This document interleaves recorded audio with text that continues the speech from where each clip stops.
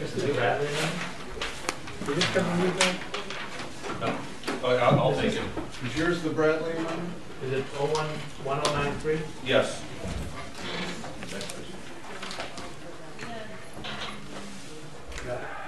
Ten ninety-three. You got enough? it now? Okay, I'm gonna open the, I'm gonna open the executive session on Senate Bill 116 FN and recognize Representative Welch. Yes, Mr. Chairman, I'd like to uh, offer an amendment to Senate Bill 116, uh, Amendment 1093S. I'll second it. The amendment, uh, 1093S has been moved and seconded. Discussion on the, on the amendment. Yes, this amendment is something that we talked about before when we did the House bill, and it didn't mention federal statutes. And in order to protect our reciprocity with those 22 other states, I think the federal statutes have to be mentioned. And this binding would be uh, a mechanism to get more states to accept the rule.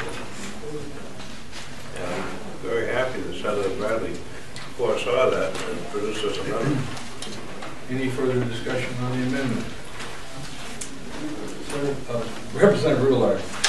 Thank you, Mr. Chair. The only question I have is where that uh, amendment in- inserts, appears to insert federal statute on line 12. If we go down to the underlying bill, and I'm sorry I didn't print it in PDF, so I don't have the line, but in section three, the additional paragraph we have, the availability of a license to carry a loaded pistol, it actually, the last sentence of that says not otherwise prohibited by statute from possessing a firearm in the state of New Hampshire.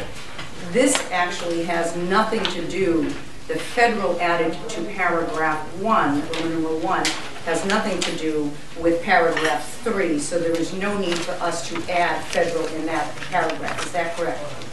Um,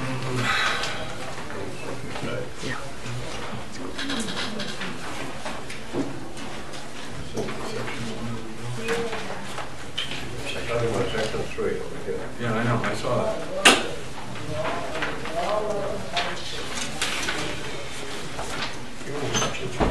I'm on section Roman numeral three, and again, I'm sorry I don't have the line on the bill.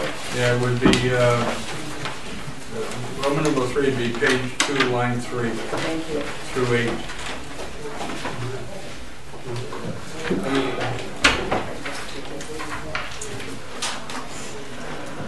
It's, yes, line eight, page two, line eight.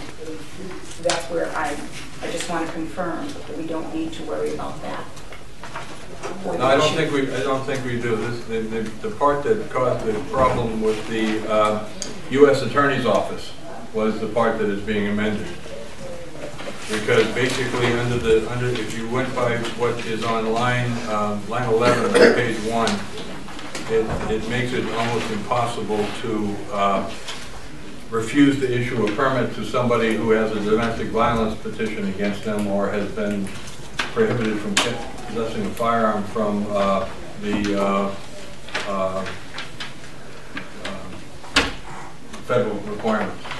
So, because under domestic violence, it doesn't uh, prohibit you from, from owning, but it prohibits you from possessing. So you would technically, under, if it was as written, you would have to issue a permit to somebody with a domestic violence petition against them because he wasn't prohibited from possessing and owning. That's the reason for the amendment. Excuse me, I had to make a phone call.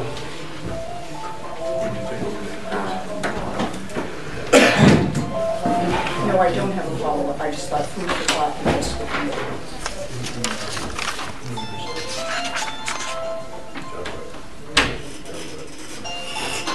there any other questions on the amendment?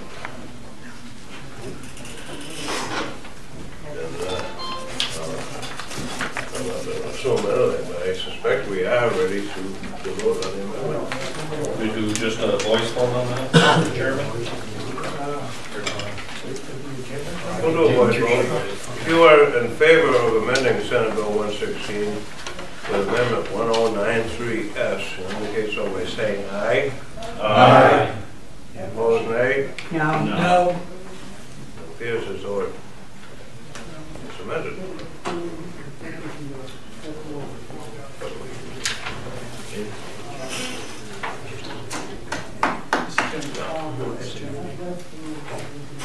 Yes, Representative Pantelakos. Yes, um, could you tell me, Mr. Chairman, where in the law or in this one that we're passing, that it covers colleges, whether they can have them or not? I suspect that the colleges are not mentioned in here because this is not dealing with the colleges. I think there would have to be uh, a particular law to grant the right to possess of a college campus. There's- there's Further question? Colleges have rules. Right, I know they have rules, but when it comes to laws for the state and constitutional and whatnot, um, they are adults, so they are allowed to carry. So I was wondering if there was a law on the books that stopped it now, or I couldn't find one. Uh, Would you restate the question?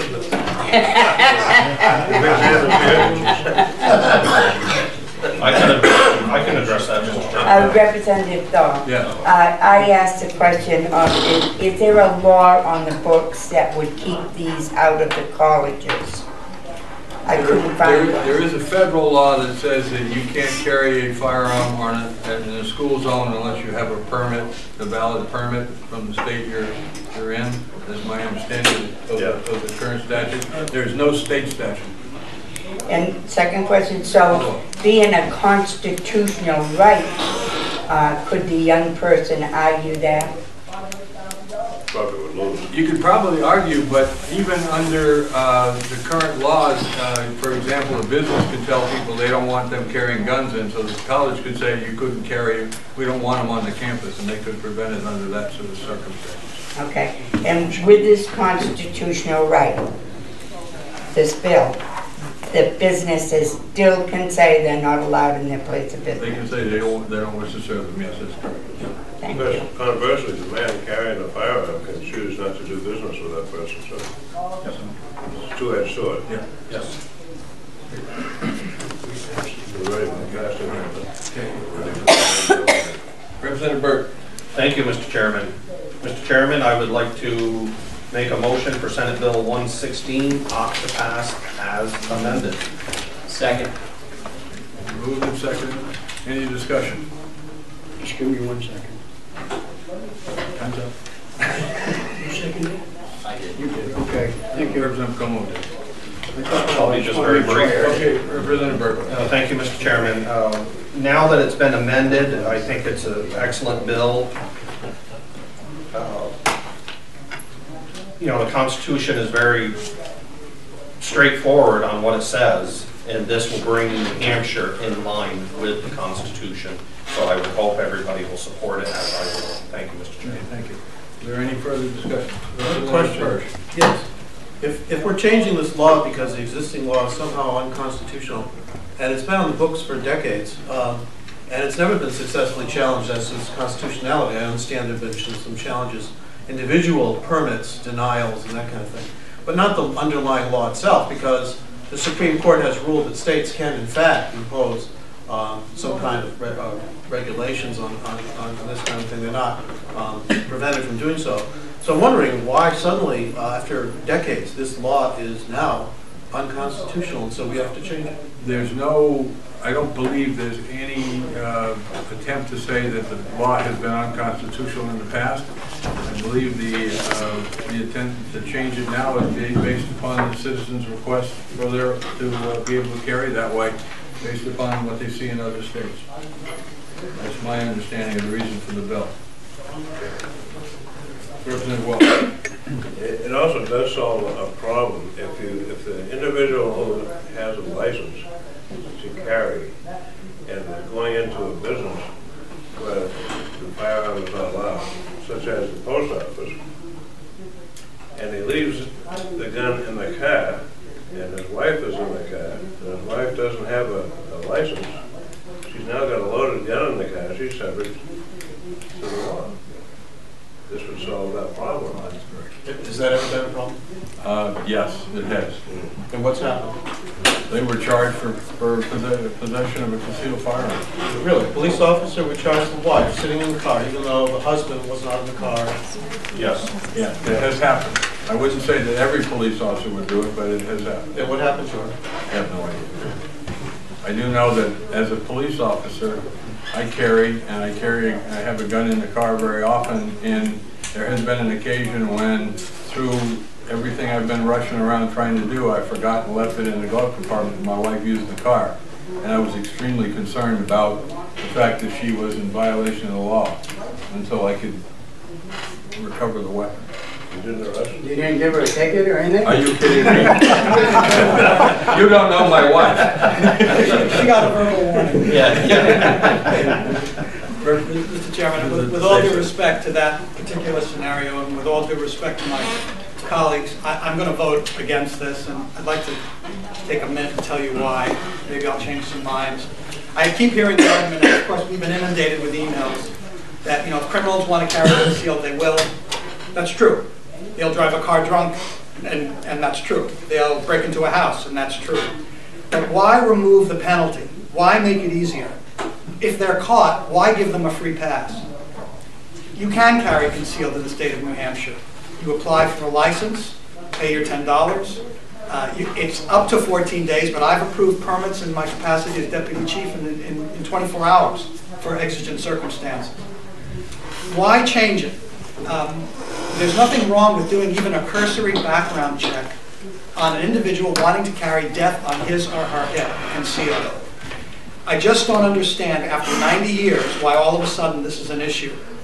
And I think it's going to be a big mistake for the state. So I am going to be voting against this. Anything further? Yes. Representative Lewis. Um, I was asked to sit in on this committee, and I had researched the underlying House bill, which is not before us today. And yesterday, I listened to four-plus hours of the Senate bill hearings before I came in here today. I also went back and researched the forms that need to be filled out for the pistol licensure. I looked at additional state law that um, was actually affecting these folks. And I have to say, I was on the fence on this, and I still am on the fence. However, I do believe that an individual that has the right to carry a gun should not be penalized in any way if they remove their sweater or if they remove their jacket. And for that reason, I am going to support this bill with some reservations that I still have. But I am going to support this bill here, and hopefully it'll go to the full House, and everybody will have an opportunity at that point to speak. Yes, um, I just would like to say that uh, I understand where everybody's coming from, but I have not read in the Portsmouth Herald or the Union Leader or anything else where anybody has been arrested for taking off their jacket, because they have that right to carry anyway, out in the open. I just feel as though that we're opening up a can of worms.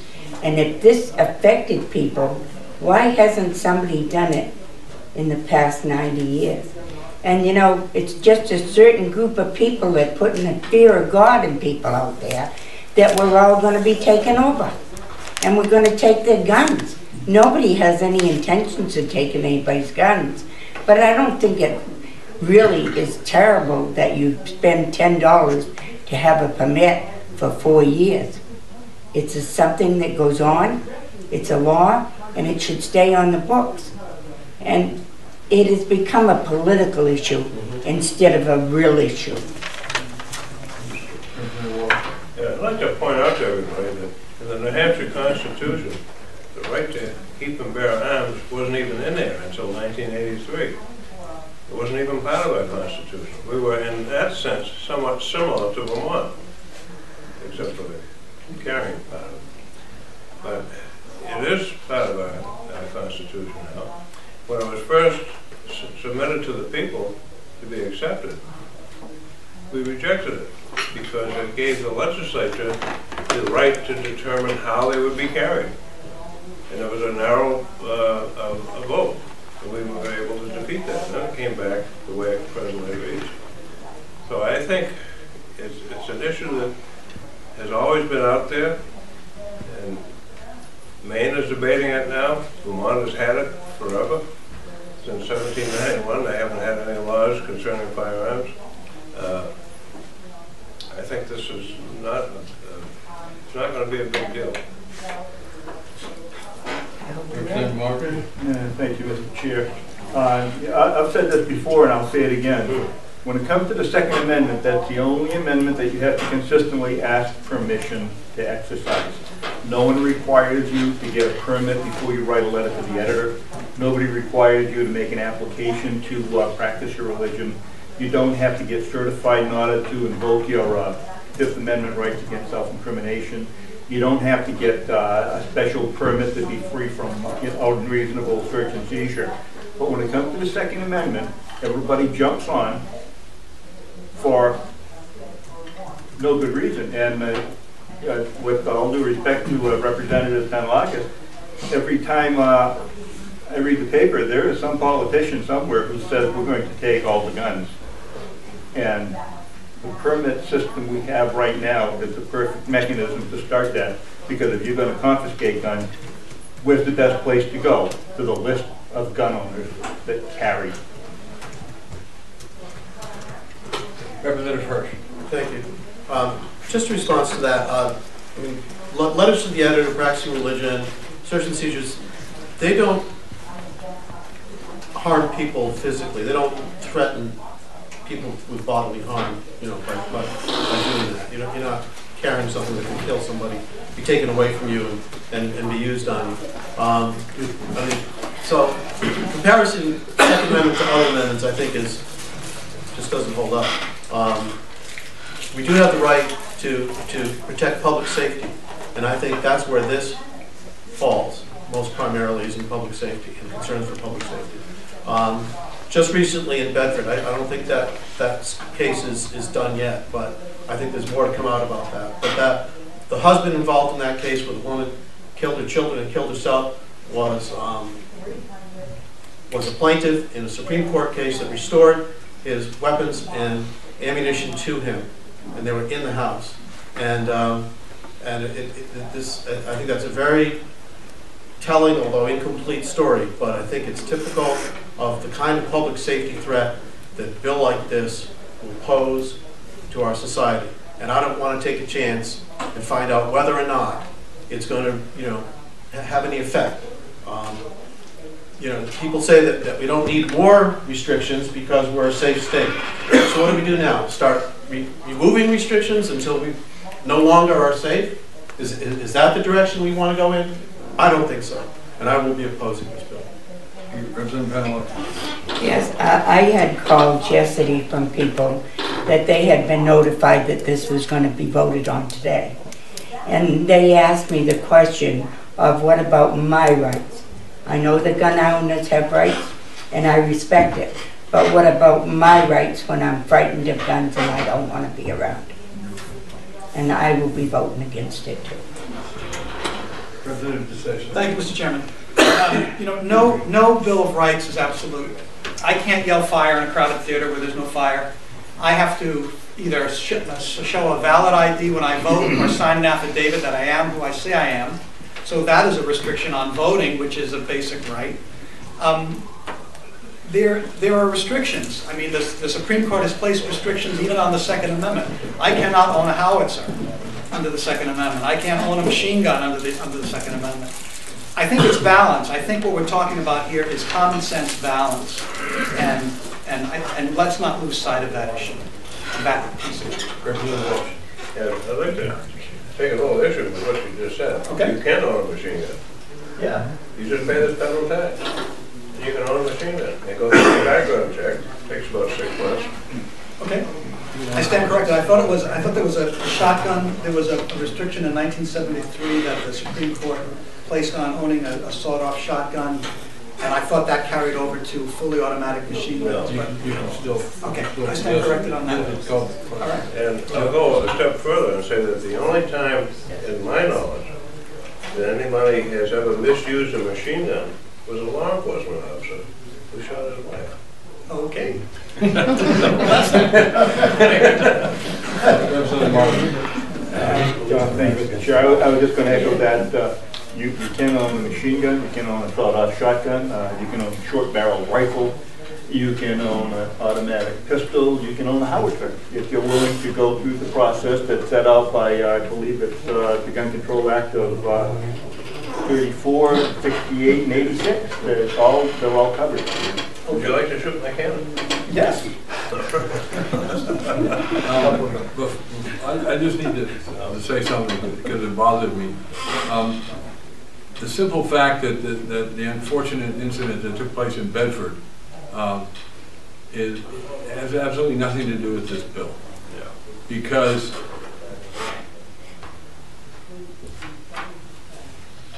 the man, man was found not to be guilty of a, of a domestic violence issue and the weapons were returned to him by a court. Therefore, he legally was able to possess weapons, and in fact, I believe he was a firearms dealer.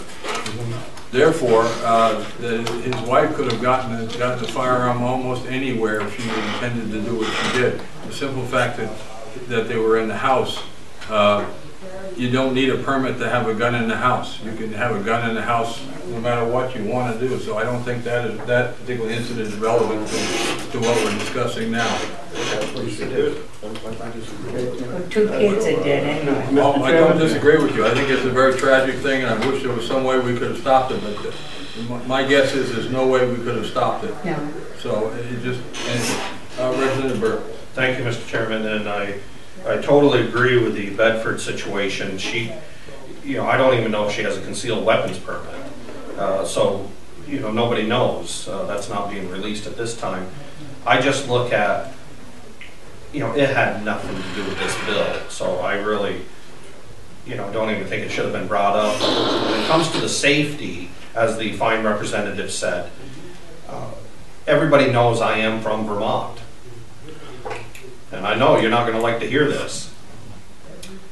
But as I said to the fine state trooper friend of ours, Vermont is the second safest place in the world.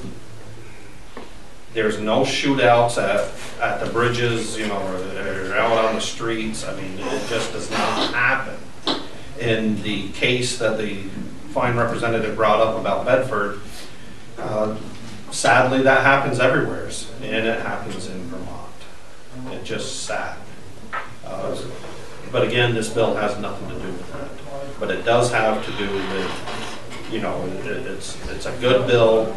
It, uh, you know, uh, Kentucky just signed it. Uh, You know, West Virginia is gonna bring it back, and they will, you know, override it again. Maine is next thing to passing it. It will be passed by the end of June, they say. Uh, You know, just, it, it's a good bill. Thank you, Mr. Chairman. Representative Penelon, did you have something you wanted to say? No, no. Representative Burke. Thank you. Um, I brought up the Bedford incident, because of the fact that his restoration of a permit um, is definitely germane to this issue. Um, Whether or not, and we don't know all the details, and maybe that's prob- maybe why I should have stayed away from it, but I am very suspicious as to why uh, all this happened. I think, I don't know, I- I'm not a a clairvoyant, but um, the other point I want to make is, is uh, just, just a point of fact, the NRA is having its national convention now, talk about constitutional rights. And they declared that no one can bring a, um, a weapon into the convention um, with a firing pin.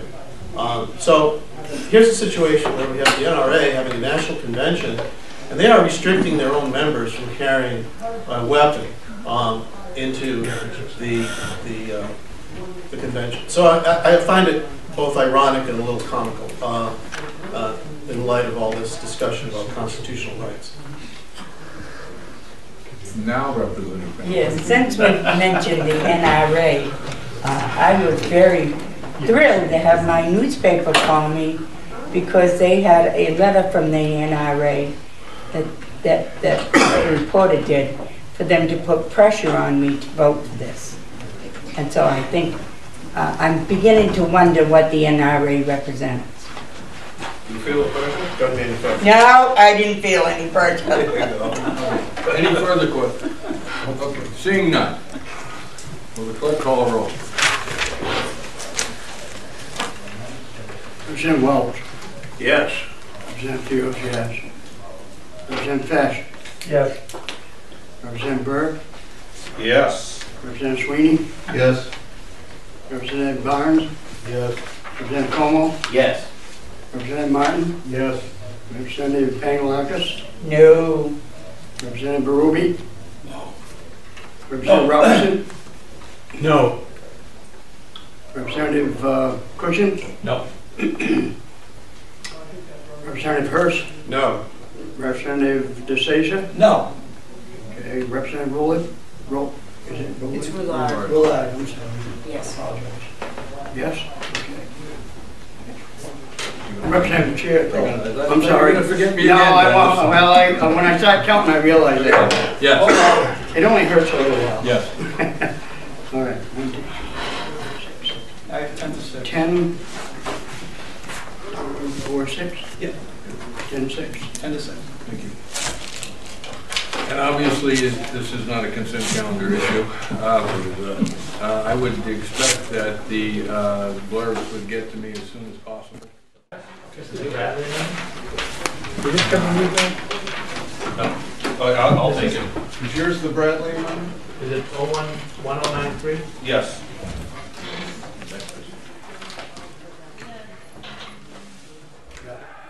Ten ninety-three.